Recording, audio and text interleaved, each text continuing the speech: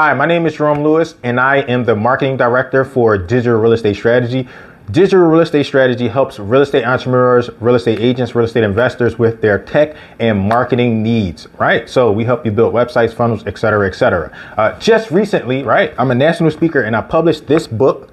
And because I published this book, we have been getting a lot of customers coming in and we haven't been able to handle the overflow. So we need to hire someone else to build funnels for us.